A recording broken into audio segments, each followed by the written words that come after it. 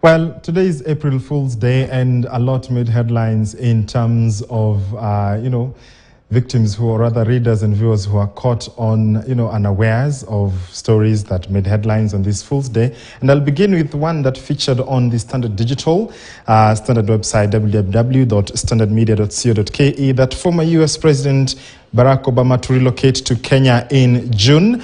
That story was published nine hours ago by Peter Theuri, and it indicated that former U.S. President Barack Obama is resettling in Kenya for at least a year as special envoy for U.S. diplomacy, a deployment which he said makes me truly grateful as I pay tribute to the land of my father and forefathers. Now, that story attracted quite some traction over 269,000.2 views on uh, Twitter as well as on Facebook on both KTN News and K and the Standard Digital Twitter handles. Another story that also make, made headlines uh, will be a memo that went viral indicating that Nairobi County would start charging motorists with model stickers up to 5,000 shillings as advertising fees. But Nairobi Governor Sakaja uh, went ahead to just reply with a smile, indicating that that was. Uh, you know, just fake news, or rather a story to fool the residents of Nairobi. Were you caught unawares? Do let me know uh, what you think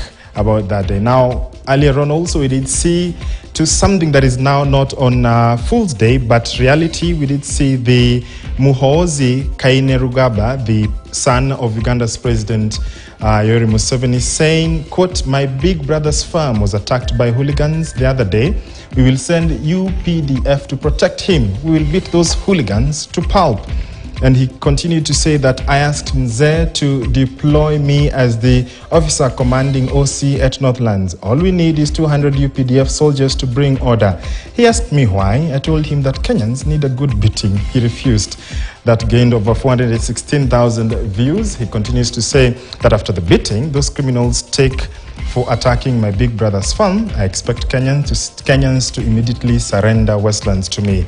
He appears to be back on a hunt of you know a piece of Kenya's uh, portions, and he's not done that for the first time. And saying taking security from Mama Ngina and President Uhuru, are you looking for war with us? Please try us. These are tweets from Muhoozi Kainerugaba. He also continued later in the afternoon to say they must return Mama Ngina's and President Uhuru's security, otherwise we shall capture Kisumu.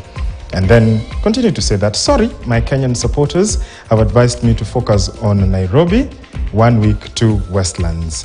The invasion of Kenya is also necessary to rescue Kenyan women from boring Kenyan men. We are coming to save you ladies. And he said, rescued Kenyan women, please send me your thanks. It wasn't easy beating up those men. He winds up by saying, I shall be greater than my greatest hero, Fidel Castro. My father will gladly hand over power to me.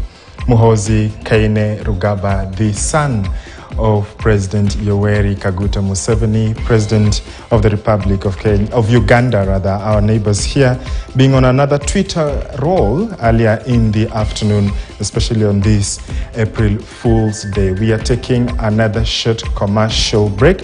When we come back, we tell you what happened in the business of sports. To stay with us.